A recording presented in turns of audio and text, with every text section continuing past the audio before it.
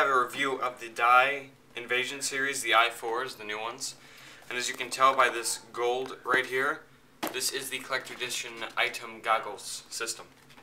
So Dye Invision i4s, so just on the back side of this box, you got some different colors. You got white gold, white camo, red liquid, tan liquid, and gray liquid. I obviously got gold and black. On this side, you just say that it has soft ears, which is comfortable for your ears so you don't have hard plastic resting up against it, which can get really annoying sometimes. And it's 20% lighter than the previous mask before it, so the i3 is a lot lighter.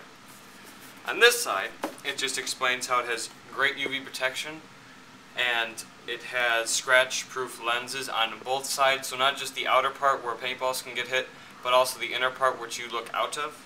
So that's pretty cool. So let's get inside this box. Right away, I'm just going to let you know, these were $134 on actionvillage.com. I just decided to get these instead of buying a different mask and getting a different lens because it's going to be the same price, so why not just get the cooler ones, in my opinion. So right away you see the goggle itself, the warranty. This has already been warranted, so if you're good enough, it's you can't really do much if I show you this.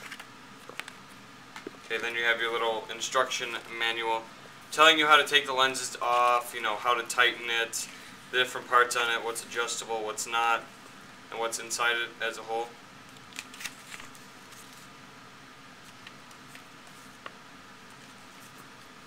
You get this cool black bag, which I think is pretty awesome. It says I4 Invision, just for the goggles themselves. And they actually fit in there with enough room to move around. Now let's get on to the main reason, the bottom of the box. I'm just joking with you. The goggle system itself. Now, if the camera's picking this up right, you should not be able to see my hand back here. Okay, so it's can't see it because it's reflecting everything off, which is so cool in my opinion. It's basically intimidation, so when you're out there on the field and someone sees you pop from behind a bunker and all they see is this gold flash lens, they're to be like, why me? So as you can see, everything is in gold and black from even the strap itself to this tiny dye ball right here. So here, and this is the mount, this is where you're going to breathe out of. Um, it's perfect. It's a lot easier to talk out of than the i3s in my opinion because it just goes right out and air comes right in. Um, breathing here as well along the side here. I'll just show you what it looks like when you have it on. So this is what it looks like. As you can see, you can't really see through. You know, my chin is shown a little bit here, but you can't really see it coming out from underneath. And it's here.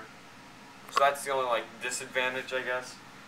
And the little straps right here in the back, which is perfect for me. The only disadvantage, I guess, of this mask is it doesn't really fully cover your face. So if you get like hit here, you know, you got really nothing to protect it, but you know, the odds of somebody doing that with this thing covering your whole head and you're behind a bunker are kind of lower than what they would be if you had it, you know, they'd just be lower. So that's the mask and how it looks. I can't wait to take this thing out on the field. If you have $134 to spend and are looking for a top-of-the-line mask, go with this. And again, if you're not, then, you know, go with any other mask. I know the Dye i3s are going from anywhere from like $89 and you can find them on Craigslist too which is really cool. So again this is the Dye i4 Invisions black and gold collector's edition. Um, they don't even sell them on the Dye website anymore which I think is a shocker so they're kind of going fast so if you can find them that's great. Uh, check out next week's video which is going to be a review of the Empire Axe, Empire Magna Loader, or Gears of War 3.